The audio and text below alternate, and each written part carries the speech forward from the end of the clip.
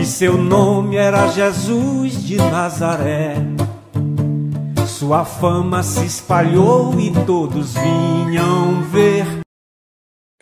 Vamos tratar agora da inauguração que foi feita com as novas instalações e novos equipamentos no Centro Médico da Assembleia Legislativa do Maranhão para proporcionar melhores condições de assistência não só aos servidores daquele poder legislativo estadual, como aos deputados ex-deputados, enfim, essas alterações que foram efetuadas foram muito bem elogiadas, foram visitadas pela presidente Iracema Vale, acompanhada do primeiro secretário eh, e do segundo secretário, além de vários deputados estaduais que visitaram todas as instalações daquele poder. Dentre os vários equipamentos que já estão em funcionamento no Centro Médico da Assembleia Legislativa, o tomógrafo vai ser operado pelo técnico em radiologia, o Wallace Correia.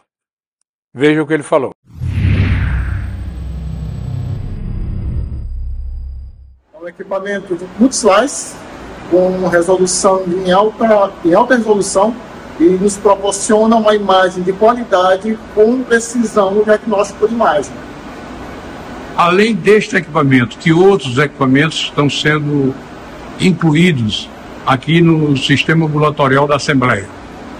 É, estamos colocando aqui na Assembleia, junto com a equipe, uma ressonância magnética, é, um raio-x digital uma mamografia digital, uma densitometria óssea e a ultrassom de alta resolução também. E a conceituada médica Silvana Teixeira faz parte do plantel de profissionais que estão à disposição no Centro Médico da Assembleia Legislativa. Para você conferir.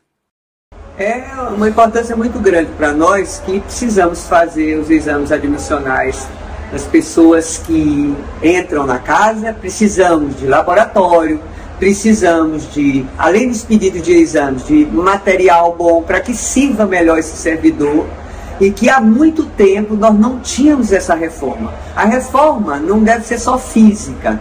E no caso com a, com a Ana Lúcia, a nossa diretora, nós temos alguns exames a oferecer aos servidores, como densitometria óssea, ultrassonografia, nós já na parte cardiológica já temos atendimento de urgência e também temos os profissionais que nós necessitamos para fazer um grupo integrativo e, e, e, que seja uma medicina que você tenha cuidado com esse servidor e com os, as pessoas que nos procuram aqui na casa.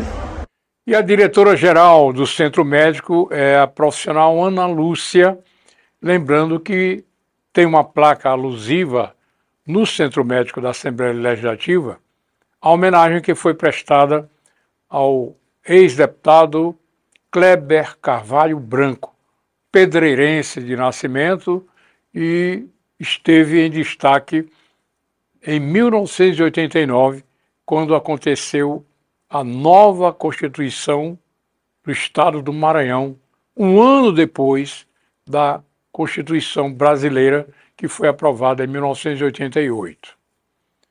Veja o que disse a nossa diretora-geral do Centro Médico. É o cuidado que se tem, a preocupação com a saúde dos nossos servidores, dos deputados, é prestar uma assistência de verdade, é trazer para cá umas especialidades que a gente não tinha.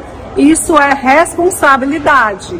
Né? Nós queremos que os nossos servidores é, façam suas consultas e seus exames na própria instituição. Isso é ganhar tempo, isso é qualidade de vida. E seu nome era Jesus de Nazaré.